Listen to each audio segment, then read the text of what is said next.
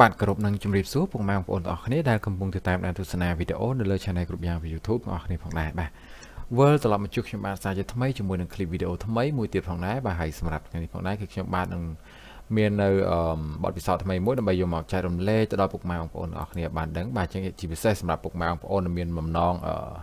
ចង់ធ្វើជាជីក៏ដូចជាធ្វើជាថ្នាំដើម្បីជំនួយដល់ដំណាំស្រូវបាទព្រោះឥឡូវនេះគឺខែយើងធ្វើស្រែធ្វើស្រូវហើយបាទអញ្ចឹង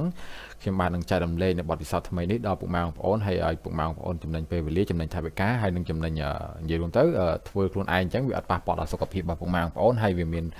ផលចំណេញទៅដល់ដំណាំរបស់យើងទៀតបាទ ចឹងដើម្បីកុំឲ្យខាត់ពេលយូរចង់នឹងថាវិធីសាស្ត្រក្នុងការធ្វើជីបំពន់ដំណាំស្រូវដើម្បីឲ្យស្រូវរឹងមាំហើយនឹងមានផ្លែធំល្អល្អហ្នឹងគឺគេធ្វើរបៀបម៉េចរបៀបម៉េចតម្រូវការអីអីគេខ្លះដើម្បីអាចមកធ្វើបានគឺយើងទៅតាមដានស្ដាប់ក៏ដូចជាទស្សនាជាមួយនឹងខ្ញុំបាទទាំងអស់គ្នាដូចតទៅបាទ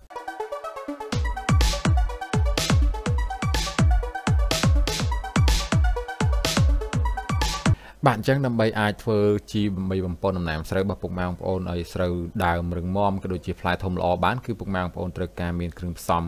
មួយចំនួនបាទដែលគ្រឿងផ្សំទាំងអស់នោះគឺពុកម៉ែបងប្អូនអាចរកទិញបាននៅតាមបណ្ដាទីផ្សារដែលនៅជិតផ្ទះរបស់ពុកម៉ែបងប្អូនឬក៏ពុកម៉ែបងប្អូនអាចរកបាននៅមានពុកម៉ែបងប្អូនខ្លះគាត់នៅតាមស្រែចម្ការអញ្ចឹងគឺគាត់អឺមានលក្ខណៈថាគាត់មានវត្ថុធាតុដើមរបស់គាត់ខ្លួនឯងអញ្ចឹងណាបាទអញ្ចឹងគ្រឿងផ្សំគឺមានដូចជា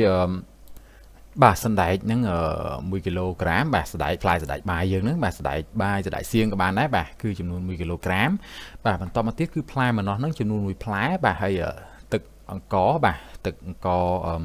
យើងដាំបាយហ្នឹងចំនួន10លីត្របាទយើងយកទឹកមកបាទហើយនឹងស្ករត្នោតហ្នឹងចំនួន1គីឡូក្រាមបាទហើយធុងជ័រមួយដែលមានចំណុះអាចផ្ទុកទឹកបានចំនួន20បាទ20លីត្រទៅ30លីត្រចំនួន1បាទ ហ្នឹងហើយអញ្ចឹងចំពោះវិធីសាស្ត្រនៅក្នុងការធ្វើបាទពុកម៉ែបងប្អូន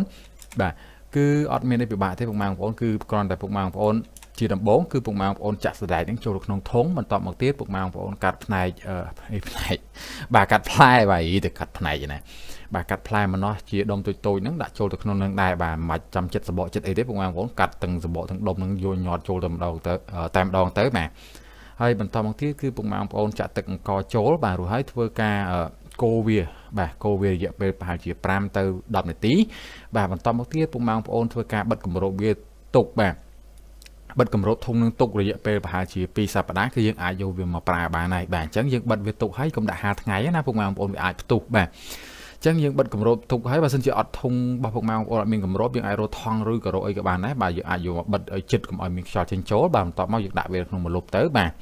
គឺជាការស្រេចបាទហើយចំពោះវិធីសាស្ត្រនៅក្នុងការប្រើបាទ ចឹងចំពោះវិធីសាស្ត្រក្នុងការប្រើគឺដំបូងឡើងគឺពុកម៉ែបងប្អូនលាយចំនួន2ស្លាបព្រាជាមួយនឹងទឹក20លីត្របាទស្លាបព្រាបាយយើងហ្នឹងបាទ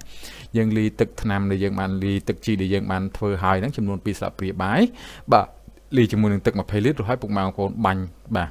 បាញ់ទៅលើដំណាំរបស់ពុកម៉ែបងប្អូនទៅបាញ់បាញ់ទៅលើស្រូវរបស់ពុកម៉ែបងប្អូនទៅបាទ ហើយចំពោះការបាញ់គឺពុកម៉ែបងប្អូនគួរតែបាញ់នៅពេលព្រឹកព្រលឹមឡើងណាបាទអានៅមានសើមហ្នឹងឬក៏ពេលម៉ោង7ម៉ោង8ហ្នឹងក៏បានដែរបាទតែកុំបាញ់នៅថ្ងៃត្រង់បើសិនជាបាញ់នៅថ្ងៃត្រង់មិនមែនថាវាអត់កើតទេពុកម៉ែបងប្អូនវាបាញ់បានដូចគ្នាក៏ប៉ុន្តែគឺវាមានប្រសិទ្ធភាពឧទាហរណ៍ថាវាអាច100%អញ្ចឹងនៅពេលដែលយើងបាញ់កដាលថ្ងៃត្រង់ក្តៅខ្លាំងវាសល់តែ70%ទេវាបាត់គុណភាពរបស់វាអញ្ចឹងណាបាទ ហ្នឹងហើយបាទហើយវាអត់ប៉ះពាល់ដល់សុខភាពរបស់ពុកម៉ែបងប្អូនទេហើយក៏អត់ប៉ះពាល់ដល់ដំណាំរបស់ពុកម៉ែបងប្អូនដែរបាទហើយគឺវានឹងឃើញផលបាទបើសិនជាពុកម៉ែបងប្អូនសាកល្បងទៅបាទហ្នឹងហើយអញ្ចឹងយើងអាចសាកល្បងទាំងអស់គ្នាទៅហើយអត់ចំណាយដើមទុនច្រើនក្នុងការធ្វើទេពុកម៉ែបងប្អូនយើងអាចរកនៅជុំវិញផ្ទះយើងហ្នឹងបាទហើយយើងអាចទទួលបាននូវការចំណេញទាំងអស់គ្នាបាទអញ្ចឹងចំពោះវីដេអូនេះគឺមានតែប៉ុណ្្នឹងបាទអរគុណចំពោះការតាមដានទស្សនាទាំងអស់គ្នាជាចុងក្រោយកុំភ្លេចចុច like ចុច share ហើយ subscribe channel របស់ខ្ញុំបានម្នាក់មួយផងដើម្បីទទួលបាននូវវីដេអូចំណេះដឹងថ្មីថ្មីទាក់ទងទៅនឹងកសិកម្ម